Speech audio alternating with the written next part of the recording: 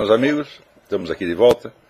Como sempre, começamos invocando a Santíssima Virgem Maria, o Santo Padre Pio de Petrantina, porque roguem a Deus que nenhuma injustiça se cometa nesse programa. Eu lembro a vocês que de 1 a 6 de outubro eu vou proferir aqui em Colonial Heights o curso Princípios e Métodos da Autoeducação, é, na qual eu vou colocar ali vamos dizer, uma experiência de várias décadas nessa coisa da, da autoeducação. Eu acho que são coisas que é, nunca se falaram no Brasil. É o primeiro curso dessa natureza. É, muitos anos atrás eu tinha um projeto que eu propus a uma fundação de criar uma coleção de, de livros e DVDs, CDs, etc., para dar suporte aos autodidatas que são, ainda hoje, a, a base da cultura brasileira mas é, na época falhou, mas um pouco do, do material que eu juntei para isso será usado nesse curso. Então, informações e inscrições com o misterioso senhor Eduí pelo telefone 041 9974 4443 e mais e tem 432 números de celular, mas eu não lembro. Então, estão todos lá no meu site. E em segundo lugar, eu queria anunciar aqui para vocês o lançamento da nossa loja Olavetes onde vocês podem comprar camisetas, botões, adesivos, etc, etc. Tudo com frases extraídas dos meus livros e artigos que estão ali estampados nas camisetas para dar mau exemplo à juventude. Né? Então vamos dar aqui um, uma amostra. Vem aqui, Leila.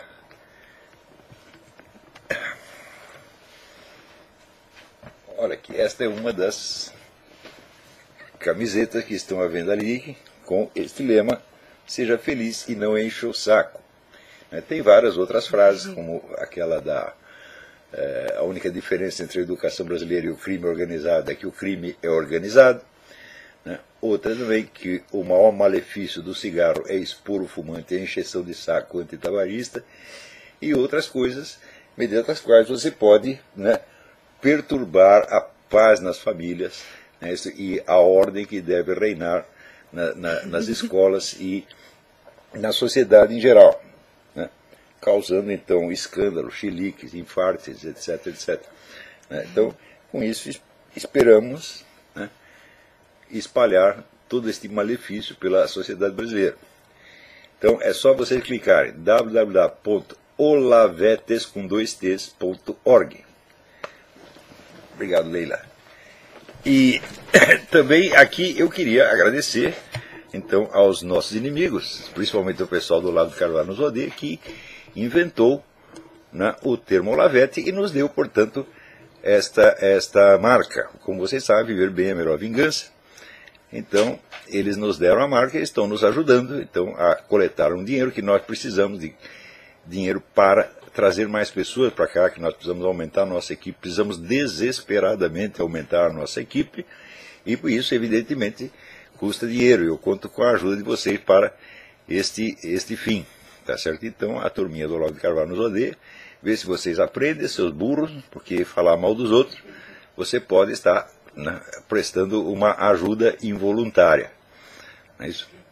É, se não fosse eles, o termo Olaveste não teria jamais alcançado né, a repercussão que alcançou e que nos permite hoje usá-la como marca da nossa loja e dos nossos produtos. Né?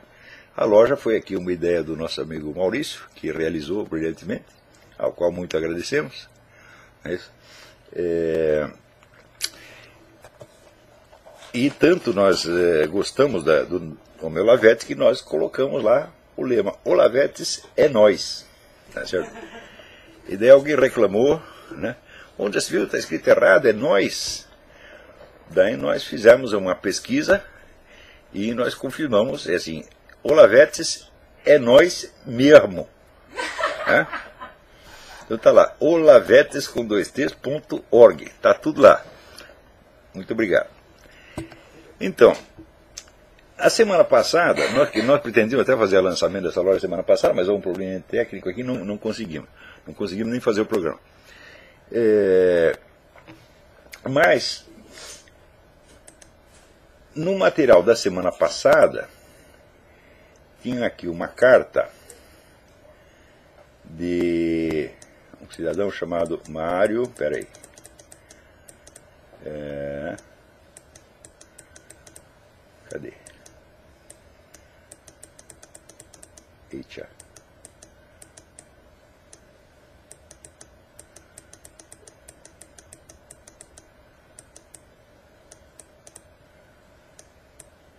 E Mário, Mário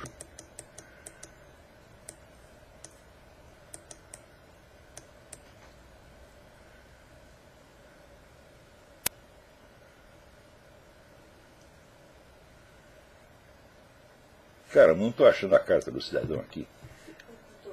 É... Não, já achei. Aqui. Diz ele, aprecio o seu trabalho e acompanho sempre que posso, mas acho que você usa péssimos exemplos do Departamento de Filosofia da Faculdade de Filosofia Ciências e Letras para dizer que nada presta por lá. Rolf Kuntz, aposentado recentemente, José Carlos Estevam, Mário Miranda Filho, Carlos Alberto Ribeiro de Moura, Roberto Bolzani Filho e alguns outros são excelentes professores de lá e praticam sim filosofia. É, é, além de ser possível confirmar tudo isso numa aula deles, está tudo documentado no site do Departamento de Filosofia, no qual é possível observar que os programas dos diferentes cursos debatem questões filosóficas importantes. Além disso, muitos alunos de valor, discentes, estudiosos, advogados, biólogos, defensores públicos, físicos, etc., estudam nesse departamento e o tornam um lugar próprio para reflexão.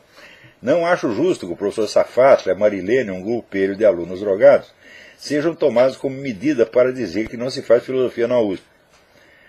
É, muito bem, você, olha, você tem toda a razão, Mário toda a razão.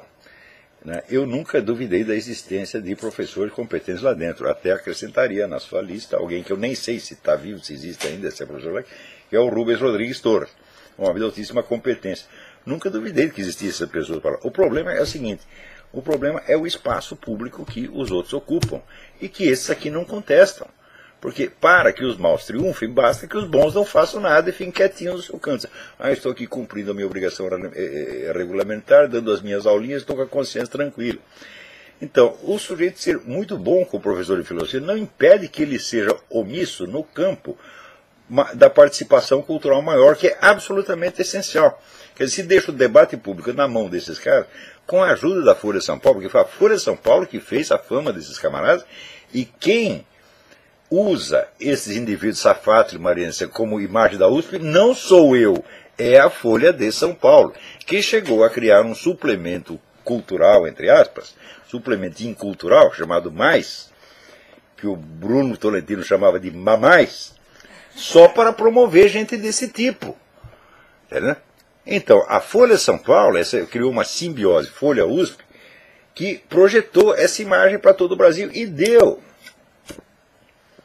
a esses indivíduos, vamos dizer, uma autoridade e um prestígio absolutamente imerecidos. Agora, os outros ficam lá no seu cantinho dando as suas aulas, é a mesma coisa que acontece com o pessoal que espalha mentiras contra as Forças Armadas. As Forças Armadas ele espalha mentira na imprensa inteira, sai no Globo, no Jornal Nacional, né, no Fantástico, etc, etc. E daí o que, que faz a Força Armada? Solta uma notinha oficial e continua fazendo seu serviço. Essa história de se fazer de superior, essa história do que vem de baixo não me atinge, isso é para quem nunca sentou num formigueiro, você está entendendo? Você vai, ou para quem nunca teve hemorroida, ou para quem nunca levou um chute no saco, você está entendendo? O que vem de baixo atinge sim, pior é que atinge por baixo. Tá então, vamos dizer, o silêncio e a omissão entrega o, o cenário cultural inteiro na mão desses caras. Então, olha, o, Rolf Kuntz, Rolf Kuntz foi um amigo meu, ele também era articulista do, do, do Jornal da Tarde, né, no tempo que eu trabalhava lá. Um sujeito excelente, um homem de altíssima competência, uma das pessoas mais inteligentes que eu conheci. Como é, como é que eu vou negar que tem gente inteligente lá que se eu sei que até este, o, o Rolf Kuntz eu já citei várias vezes. Né? O, o Rolf Kuntz, que eu conhecia mais como jornalista do que como professor, nunca assisti uma aula do Rolf Kuntz, mas garanto que era coisa boa, porque se na conversa e no jornalismo ele já era tão bom, nada impede que fosse professor excelente também.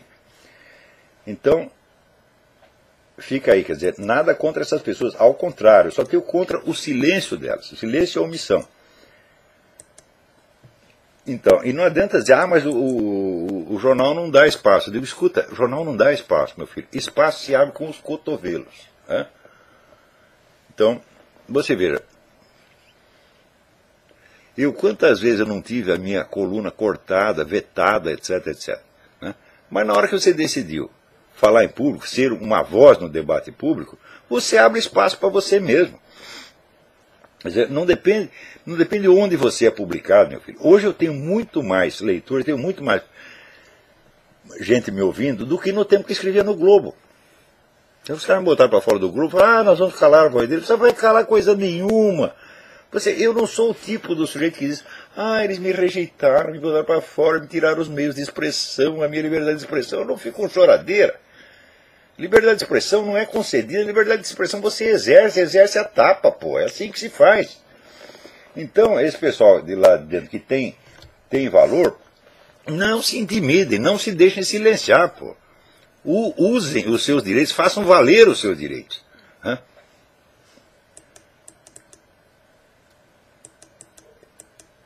E olha, a semana passada aconteceram várias coisas interessantíssimas que foram to acabaram todas sendo abafadas por causa do que aconteceu na Líbia, que vamos comentar depois.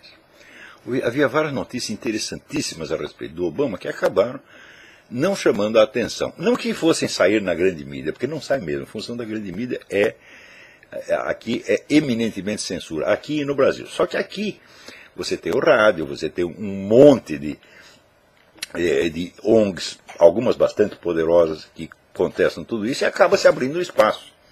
Por exemplo, você pega aí o, o WorldNet dele, WND, com o Joseph Farr, tem mais audiência do que o New York Times. E sem contar o Rush Limbaugh, que tem, às vezes é ouvido por 38 milhões de pessoas no rádio, sabe lá o que, que é isso? Então, Quer dizer, quantas edições do New York Times precisa para chegar a 38 milhões? Precisa, pelo, olha, dá 16 ou 17 edições do, do, do, do New York. Não, que 16? 38 edições, porque o New York Times, quando vende muito, vende um milhão. Né? Aliás, foi feito aqui um estudo e diz o seguinte, que os anúncios da, do, do, nos grandes jornais caíram para os níveis dos anos 50. Né? Então, quer dizer, a grande mídia está murchando, ela está acabando. Você sabe o que é isso? Quer dizer, jornais de 2012, o total de anúncios deles é exatamente o que tinha nos anos 50. Isso é a degradação total, isso é o fim. O New York Times está falido, o Los Angeles Times está falido, essa gente toda está falindo. Eles estão pagando pelo mal que fazem. É por isso que diz aqui o, o John Notes, escrevendo aqui no. no peraí, onde é que ele escreve isso? No, no site do Breitbart. Ele diz: olha, nós estamos ganhando a guerra com a grande mídia. Nós estamos acabando com ela. E quando eu estive aqui em 2000, fui falar com o Brent Bozell, 2000 e 2002. E fui falar com o Brent Bozell, que é do Media Research Center. Ele disse: Olha, esta grande mídia vai acabar, ela vai cair.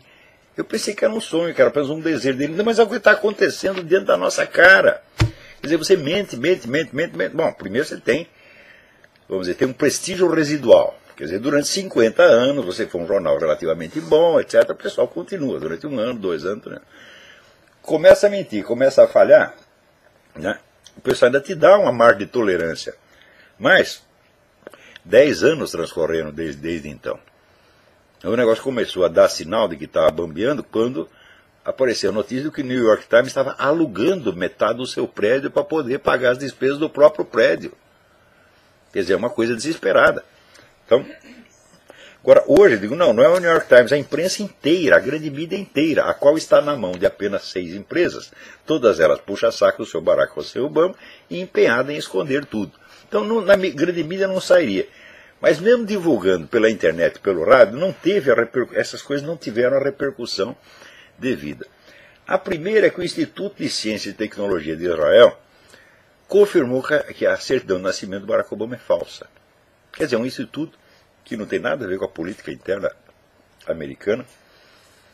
Você não vai dizer que judeu é anti-americano, é anti-Obama, porque aqui 70% dos judeus idiota continua votando no Obama. Saiu pesquisa outro dia.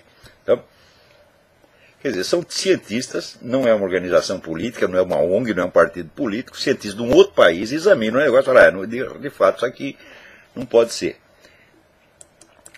A segunda, notícia é a segunda. Saiu um artigo do Richard Pipes que traz ali provas conclusivas de que o Obama realmente era muçulmano enquanto estava na Indonésia. Quer dizer, não há possibilidade de duvidar disso. Ora, se o Obama é muçulmano e depois chega aqui e declara que é cristão, então, pela lei muçulmana, ele é um apóstata. E o apóstata islâmico, que renegou o Islã, é condenado à morte. Isso por legislação unânime de todos os países islâmicos. Esse, esse é um dado. Vamos outro dado. Um, um, dos mais importantes líderes gays de Chicago, gays ou gaysistas de Chicago, ele é gay e é gaysista, deu uma entrevista dizendo: Olha, aqui em Chicago, o Barack Obama era conhecido no meio gay porque ele frequentava a sauna gay, ele junto com o Rahm Emanuel, esse que agora é prefeito lá, né, e eles iam numa sauna que todo mundo chamava de oral office, porque tem o Oval Office no Casa Branca, ali era oral office. Tá então todo mundo sabia que ele não era sequer bissexual, que ele era homossexual de estrita observância. Todo mundo sabia, é só perguntar aí, todo mundo sabe. Ora, o movimento gaysista, você movimento, não há nada que o movimento gaysista odeie mais do que o homossexual enrustido. Eles odeiam porque consideram o traidor. Então, quando descobre que o sujeito é homossexual enrustido, eles denunciam, eles pressionam, eles intimidam o cara até o sujeito chegar, assumir e virar um militante gay. Quer dizer, forçam, o cara quer manter uma tudo discreto. O direito à discrição é uma coisa, é tão fundamental quanto o direito à privacidade. Então, seja homossexual, seja hétero, tem pessoas que gostam de discrição. Tem sujeito que quando come uma mulher sai contando para todo mundo. Né? Não tem aquela história do, que dizer que o prazer não está em comer mulher, está em contar que o sujeito estava num navio, e o navio naufragou, e só duas pessoas se salvaram, ele e a Sharon Stone, e foram parar numa ilha deserta. E o sujeito ficou lá, então, comendo a Sharon Stone, mas aquilo acabou enchendo o saco com o tempo. E um dia ele pediu para ela, você faz um favor para mim? Né? Você, depois da gente transar, você se veste de homem e dá a volta na ilha, por um lado, que eu vou pelo outro lado, te encontro lá. Ela não entendeu, mas foi. Daí quando encontrou a Sharon Stone, disse, Rapaz, você não imagina, comia Sharon Stone. Então tem gente que é assim, mas tem pessoas que têm horror né, de que alguém se intrometa na, na vida erótica dele. Né? Mesmo quando ele come a própria mulher, não quer que ninguém saiba. Né? Então, esse é um direito. Agora, para o, gay, o movimento gaysista, isso não existe. Quer dizer, o gay que não sai espalhando para todo mundo e que não tem uma atitude militante é um traidor. Ora, por que, que a, se a comunidade o problema não é do Obama ser gay, eu estou pouco me lixando se o Obama come, se o Obama dá, não sei. Né? Eu só acho um pouco estranho ele comer aquela senhora, né? É, que é um pouco assustadora, né? Você olha a cara dela, está sempre braba. Fala, pô, para a cama com essa mulher, vai me bater. Então, é, é, o problema é o seguinte: se a comunidade gay de Chicago inteirinha, todo mundo sabia que Obama era gay, e se a comunidade inteira odeia o homossexual enrustido, por que, que ela concedeu ao Obama, e só ao Obama, o direito de permanecer enrustido? Para favorecê-lo politicamente. E a turma islâmica, que condena os apóstatas à morte, sabendo que o cara é um apóstata que recebeu educação islâmica e Dizer, na Indonésia, como em todo país islâmico, a religião é hereditária. A religião do pai passa necessariamente para o filho. E o Obama chega aqui e vai na, lá na, na igreja do, do, Jeremiah Wright e diz que é cristão, então ele é um apóstata. Se a comunidade islâmica sabe disto e o cara é um apóstata, por que, que o protege? Por que, que ele é uma exceção? Ele é uma exceção pelo mesmo motivo que é exceção para a comunidade gay. É o interesse político que predomina sobre as normas que essas comunidades professam, tá certo? E normas que elas obedecem em todos os outros casos, só uma exceção, Obama. Ou seja, o Obama não só tem o privilégio de subir na vida na base da mentira, como ele tem esta habilidade de fazer os outros mentirem contra o seu próprio interesse em favor dele. É? Você imagina dizer, o que, como seria bom para a comunidade gay, dizer, olha, temos um presidente gay. Né? E eles não, eles não vão ficar quietos, porque senão os caras não votam nele, etc, etc. Hum? Quer dizer, é, é uma. É, É uma precaução inútil, tá certo? Porque ser gay não tira, tira voto de ninguém, né? Agora, esta semana também saiu, saiu no World Net Day um artigo do Jerome Corsi, dizendo que o principal investigador da comissão Arpaio, que é o, o Mark Zulo, ele foi, Mike Zulo foi novamente até o Havaí, tentando novamente obter acesso ao documento original do Obama, é claro que bloquear, só que descobriu mais uma coisa. Tem uma menina chamada Virginia Sunahara, que nasceu no mesmo dia do Obama. E parece, tudo indica que a certidão de nascimento do Obama foi forjada com base na certidão dessa Virginia Sunahara. Pegaram a certidão dela, apagaram os negócios, botaram os dados do Obama. E a mãe dessa Virginia diz que está tentando obter uma certidão de nascimento dela e não entregam. É? Ora, por que, que não entregam a terceiros a certidão de nascimento do Obama? Porque dizem, não, é uma coisa privativa da família. Só a família, ou o cidadão ou a família pode retirar a, a cópia da certidão. Uma cópia fotostática da certidão. Agora, no caso, vai a família da mulher lá, vai ela própria, e não entregam a certidão. Ou seja, é proibido até para a família quando não interessa o seu Barack Hussein Obama. Quer dizer, a capacidade de bloquear as coisas desse fulano é incrível. Agora, compara isso com o barulho que fizeram a respeito da é, declaração de imposto de renda do Mitt Romney, que ele disse agora que vai é, divulgar no dia 15 de outubro. Hum? Então, espero que quando ele mostrar essa, essa, essa declaração, né, que todo o pessoal democrata, a mídia inteira fez um barulho, ele está ocultando, é uma ocultação, isso é uma conspiração. É um negócio incrível por causa de um documento. Hum? Agora, Obama esconde tudo, desde a certidão de nascimento, passando por registro médico, registro escolar, tudo, passaporte, tudo, tudo, tudo. É proibido investigar a vida do cara e a mídia não fala absolutamente nada. E se você exige esses documentos, imediatamente você é rotulado teórico da conspiração. Mas eles podem dizer que houve uma conspiração para esconder a, a, a, declaração de imposto de renda eh, do, do Mitt Romney.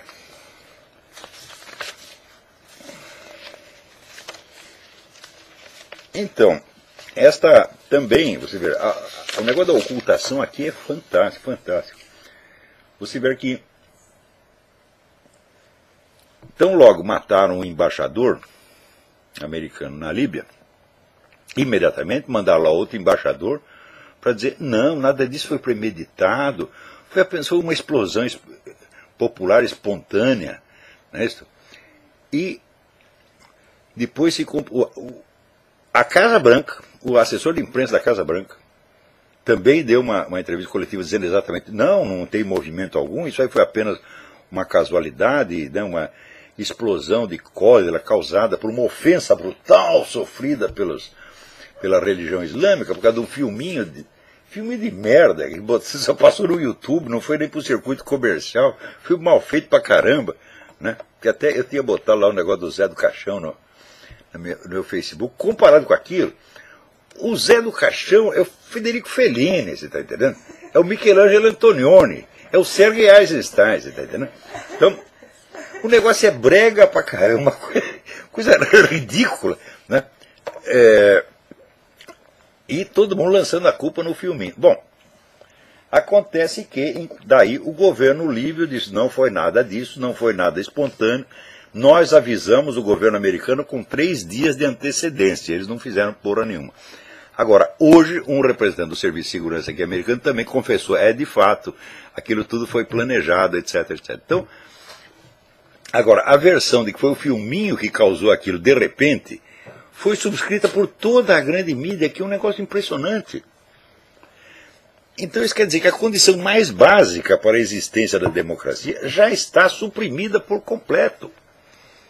E basta controlar a grande mídia e pronto. Quer dizer, o cidadão não tem acesso à informação e a, e, portanto, as suas decisões eleitorais têm que ser tomadas às cegas e, evidentemente, seguindo o que a grande mídia mandou. Né? Então, aliás, esta semana também aconteceu a mesma, de novo, você vê, tem um discurso que o Mitt Romney fez em que ele disse a coisa mais verdadeira do mundo. Ele disse, olha aqui 47% dos americanos, eles vivem de ajuda do governo. Então eles vão votar sempre no governo, pô. E o número dessa pessoa, durante o governo Obama, centuplicou. O número de pessoas, quer dizer, perfeitamente saudáveis, adultos saudáveis, aptos, que estão lá recebendo dinheiro do governo, multiplicou muitas vezes durante o governo Obama, e ele fez isso de propósito. Então daí dá aquele negócio que o, o Ira, como é o nome do cara? Ira, eu esqueci. Ira Stoll, é, do, do, do New York Sun, chamou o paradoxo do Obama. Quer dizer, o Obama teve o pior desempenho trabalhista desde a Segunda Guerra Mundial o cara que menos criou emprego e que mais distribuiu vale alimentação. Então, metade do país vivendo vale alimentação e a outra metade trabalhando para sustentar bom de vagabundo. Então, o Obama, a vantagem eleitoral do Obama vem da sua péssima administração. Quer dizer, quanto pior, melhor. Né? E o Mitt Romney se referiu aos 47% imediatamente fizeram um baita bafafá. Só que agora a MSNBC, que foi aqui divulgou isso aí, disse que foi o, o neto do Jimmy Carter que surrupiou uma cópia lá do, do, do vídeo né, para queimar a reputação do, do Mitt Romney e foi cumprimentado pelo avô, muito bem garoto, isso aí, né? É, só que agora a MSNBC confessa que ela apagou dois minutos do vídeo. Ou seja, a coisa foi totalmente fora do contexto. Né? Então o que, que vai dar? Isso não vai dar nada. Não vai dar nada porque conservador está acostumado a levar tapa na cara. Né? É aquele negócio que dizia, o Khrushchev que dizia, né? nós cuspimos na cara deles e eles dizem que é o orvalho caindo. Né? Mas essas coisas não passam despercebidas à população, tá? Tanto que acontece, a circulação dos grandes jornais caiu formidavelmente e a, a quantidade de anúncios também. Ao mesmo tempo em que se aparece aqui é, as empresas de pesquisa mostrando o seguinte, que a renda média hoje está muito pior do que durante o período da chamada grande recessão, que foi 2005 a 2008. Ou seja, até o pessoal distribui aí uma charge, que é o, o, o George Bush, dizendo assim, vocês já estão com saudade de mim? Fala, claro que todo mundo está com saudade, pelo menos tinha mais dinheiro. Pô. Agora, uma coisa que o pessoal não está prestando muita atenção, e que é de uma gravidade extrema, é o seguinte, o Japão comprou algumas ilhas da China, e isso imediatamente causou uma comoção nacional na China. Né? movimentos, pessoal lá na frente da, da embaixada, todo mundo xingando, né? passeatas, gritaria, protesto geral da mídia. Ora, peraí, você acha que na China é possível um movimento popular espontâneo dessas proporções? É claro que não. Hum? Então, é claro que isso foi criado pelo próprio governo, ao mesmo tempo em que um alto comandante das Forças Armadas chinesas anuncia: preparem-se para o combate então, nós estamos numa situação muito parecida na das vésperas da Segunda Guerra Mundial, onde você tem um conflito aqui do lado ocidental e um conflito lá no, no Oriente, ambos prontos para estourar. Então, dois barris de pólvora, com o pavio à mostra, esperando que alguém chegue lá com o, o fósforo. Então, preste atenção nesse negócio da China, tentem acompanhar. Né, é, também isso não tem grande. Ah, é isso até que a grande mídia noticiou. É, mas eu sugiro que vocês acompanhem por esse seguinte site, freebeacon.com. Freebeacon, B-E-A-C-O-N.com. Eles têm noticiado essa, acompanhado essa coisa direitinho. Onde vocês também podem ler coisas interessantes. É bom, no próprio WordNet dele também é algo que saiu alguma coisa. Não, não com todo o destaque que a coisa merecia. Né? Foi, foi um negócio da Líbia, abafou tudo. Né? É, às vezes no Front Page Magazine sai, sai coisa interessante.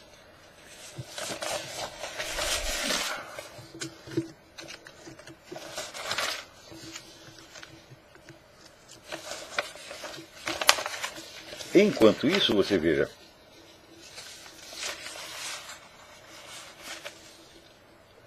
O nosso amigo Obama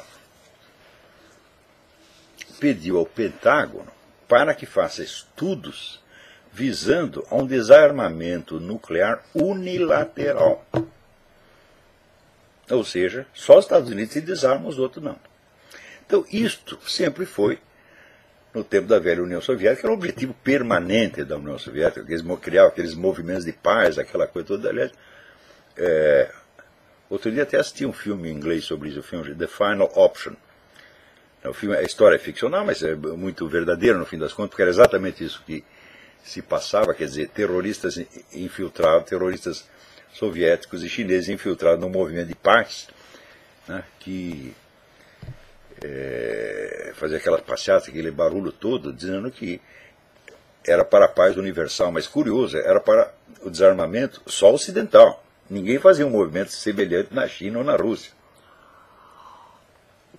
E agora aqui não precisa nem fazer passeata, você tem o presidente da República. Nós vamos nos desarmar unilateralmente num gesto de, de boa vontade. Enquanto isso, a China está centuplicando suas reservas nucleares. É um negócio impressionante. E pior, centuplicando com dinheiro americano. Então, olha, quem não percebe que o Obama é um traidor, quer dizer, é um agente do inimigo, então o cego é parte interessada. É impossível não perceber. Tem aquela história de um engenheiro americano que estava nos anos 80, estava na União Soviética, e ouviu essa história. E, não, nós estamos preparando um gente chamado Barack, não sei das quantas, para botá-lo na presidência dos Estados Unidos. Não sei se a história é verdadeira, mas, como disse, se não é velho, é bem trovado. Quer dizer, se não foi a União Soviética que preparou o cara, ele se preparou a si mesmo, tá certo? Sob a orientação do Frank Marshall Davis, para fazer exatamente o que está fazendo, quer dizer, é para demolir o país. Assim como, né? É, na Colômbia está lá o Juan Manuel Santos, agora promete até aposentadoria para os caras das Farc. Se vê se durante 30 anos eles matam, sequestram, traficam droga, destrói o país e depois é premiado. Né? Isso pelo cara que prometeu destruir as Farc. Você veja que coisa. É bom, depois dessa também Juan Manuel Santos não se elege nem inspetor de quarteirão mais, né?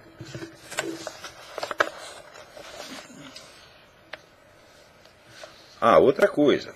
Você vê, o Obama baixou uma daquelas ordens executivas faz tempo. Ele fez isso, foi, não sei se foi Natal no Ano Novo. Passou lá uma ordem que atribuía a ele mesmo poderes para prender e manter preso indefinidamente qualquer cidadão que, a critério dele e sem provas algumas, constitua uma ameaça material para os Estados Unidos, que é alguém que tenha colaborado materialmente com o inimigo. Não tem julgamento, não tem prova, não está nada. O presidente achou, pô. E manter o cara preso indefinido. Não é uma, uma prisão preventiva que se chama no Brasil, que você mantém o cara preso lá até se não tiver provas contra ele, tem que liberar. Não, você não tem que liberar nunca mais. O governo some com o fulano e nunca mais precisa dar satisfação a ninguém.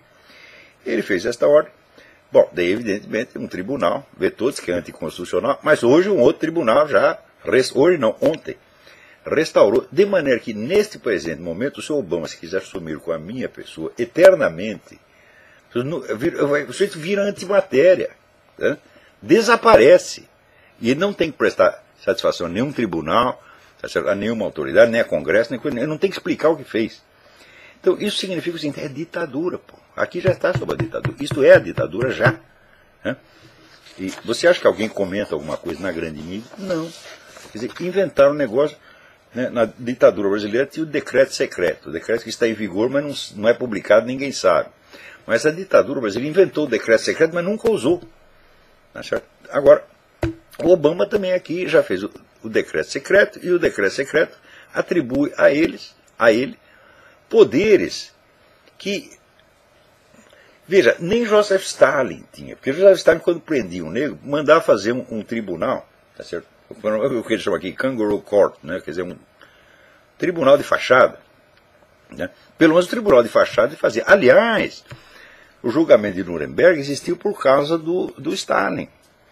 Porque o Churchill dizia, ah, vamos matar logo esses filhos das putas, dar um tiro neles e pronto, acaba. Daí o Stalin, não, não, não, você fazer a coisa direito. Fazemos aí um, um tribunal.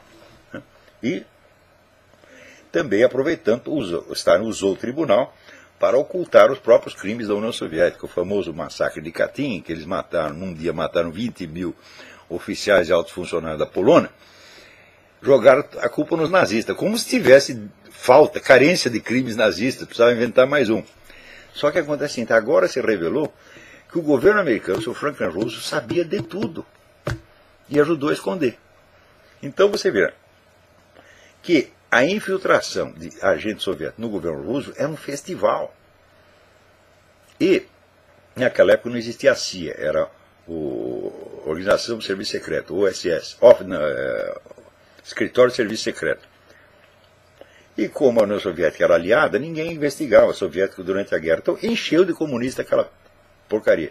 Quando virou CIA, a CIA já veio contaminada. Desde o início, tá certo? Então, os soviéticos fazem exatamente isso. Eles infiltram a gente num serviço americano e daí lançam uma campanha contra aquele serviço. A CIA fez isso, a CIA fez aquilo, a CIA está perseguindo comunistas, etc. Não está fazendo nada. São eles mesmo que estão fazendo. Isso quer dizer que nesse jogo, vamos dizer, da grande. O pessoal hoje usa a palavra desinformação, qualquer mentira chama de desinformação. Mas não, desinformação é uma operação estratégica de grande porte. Nesse campo da desinformação, a União Soviética foi um sucesso. Né?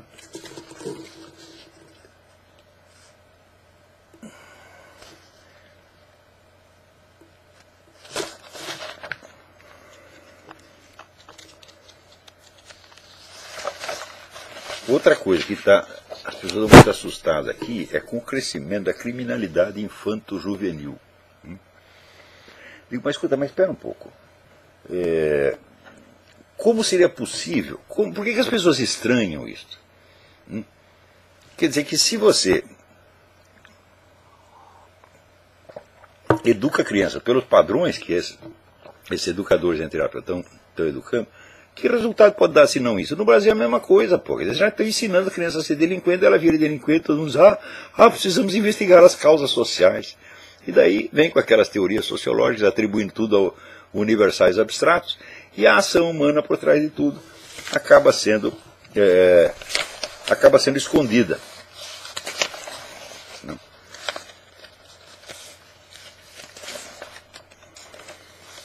Agora, aqui, né, saiu, inclusive no próprio Warnet dele, uma matéria dizendo, olha, a perseguição aos cristãos nos Estados Unidos está aumentando muito. Você vê toda semana, você vê 10, 20, 30, 30 casos, né? Essa semana, é, teve aqui em Loveland, Colorado, uma garota eh, apareceu na escola com um rosário, tomaram dela, porque disse, não, isso é símbolo de gangue. É? E assim vai. Também, você vê, na Inglaterra, agora está rolando um processo pelo seguinte, o, o dono de uma loja proibiu os seus funcionários, tinha dois funcionários que estavam com crucifixo, ele proibiu de usar o crucifixo na loja. Agora acontece o seguinte, se a loja, por exemplo, é uma loja cristã e o cara quer usar o seu, seu o seu estabelecimento para fazer propaganda da fé cristã, ele não pode. Mas o contrário pode. Quer dizer, essas leis elas vão entrando um pouquinho aqui, um pouquinho ali, e acaba criando um cerco. Né?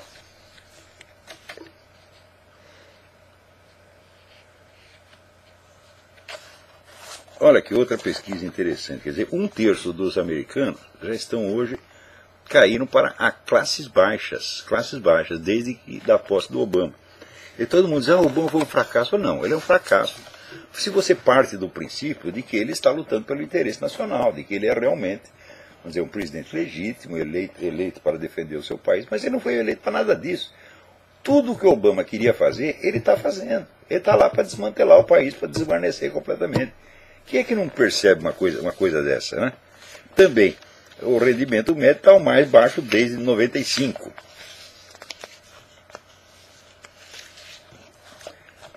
Agora, às vezes falta para as pessoas, faltam, vamos dizer, as categorias, os conceitos descritivos adequados para falar dessas coisas. Né? Tanto que é, dizer, o rótulo de teoria da conspiração ainda tem alguma credibilidade. Quer dizer, tudo que você não gosta, tudo que você não quer que divulgue, você diz que é teoria da conspiração e tem gente que se inibe imediatamente. Por quê?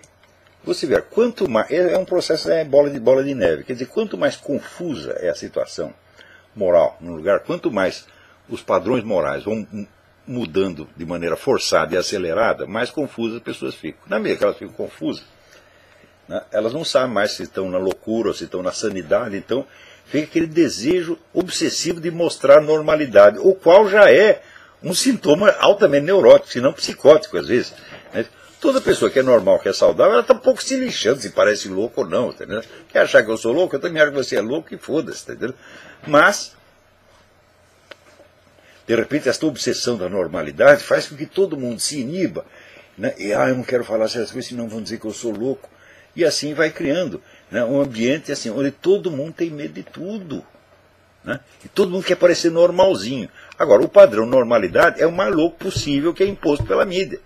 Tá certo? Então, aí cria, como diz aqui o nosso amigo Maurício, é a era da Barbie psicótica. Todo mundo é cheio de não me toques, tudo me dói e todo mundo vira boiola. Né? É, é um negócio impressionante. Os caras são tão boiola que nem viado eles conseguem ser. Eles têm medo até disso, porra. E porque chamar o cara de viado, dizer, é, é, é enaltecê-lo, né? Porque dizer, ele não tem coragem nem de data. Ai, ai, vai doendo, vou dar não. É assim que as pessoas estão ficando, gente. Porra! Quer dizer, onde é que você espera que isso termine? E tudo isso porque a pessoa tem medo que olhe feio. Hã? Ah, o que, que, que vão dizer de mim? Eu falo, escuta, Aristóteles já dizia o seguinte: a palavra cão não morde falar de você. As coisas que falam de mim, meu Deus do céu. Eu vou ter medo do que falam de mim. Você vê, aqueles filhos das putas do Olavo Carvalho nos odeia. Não me ajudaram com essa história de Olavetes? Se fala mal, fala mal, ver, nós vamos transmutar a coisa.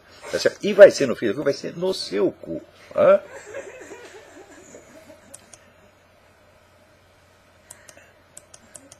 Então, ó, não deixem de ler o artigo do, do Reinaldo Azevedo sobre, que saiu na Veja, blog dele da Veja, sobre o material didático liberado pela gestão Fernando Haddad, no Ministério da Educação, para crianças de 10 anos.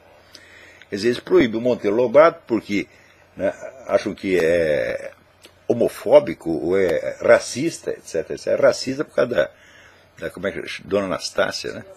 tia Anastácia. É,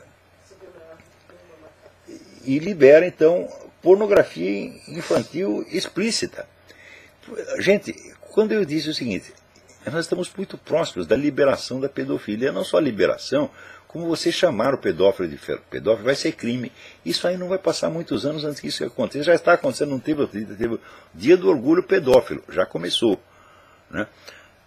o projeto do Código Penal Brasileiro, que é baixar a idade de consentimento para 12 anos. 12 anos. Né? Quer dizer, 14 já é um absurdo. Agora, 12, depois baixa para 8 e para 6. Né?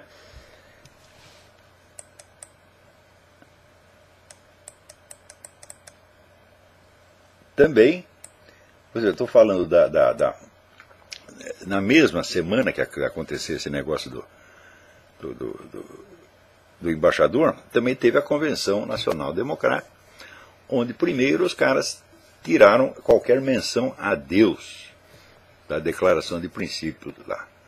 Daí houve um bafafá na mídia, algumas pessoas reclamaram, os pastores chiaram e tal, e eles resolveram colocar de novo. Daí colocaram forçado. Porém, não, lá na, na convenção, o mestre cerimônia lá perguntou, falou, aqueles aqui que são contra, por favor se manifestem mais de metade das pessoas que estavam ali reunidas no estádio, não tinha muita gente, não, porque isso é outra, outra coisa estranha. Todo mundo fala da popularidade do Obama, mas quando chega na Convenção Nacional Democrata, não conseguem lotar um estádio. Metade do estádio está vazio. Mas a metade da metade se levantou e todo mundo diz, nós somos contra, somos contra. Não, não, não, não, não. Ou seja, os caras não querem menção a Deus. E também não pode mencionar Jerusalém como, como capital de Israel. Não pode. Tá certo? É, tem que ser do Estado palestino. Então tiraram essas duas menções de lá. Três vezes, né, parece a história do Pedro, negou Cristo três vezes. Né?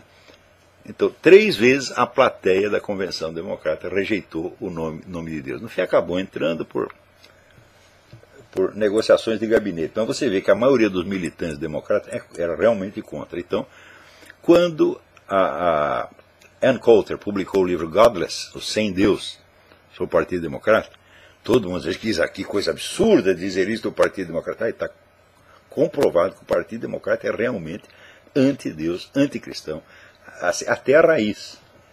Né? Então, é? você vê, esse processo, processo que eu falei da Inglaterra, o que está se discutindo ali é se, no fim das contas, a sentença determinará se é permitida a prática do cristianismo em público ou se deve ser reservada apenas a ambientes privados, como é no Irã.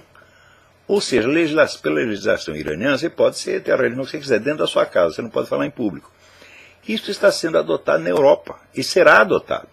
É questão de, de tempo.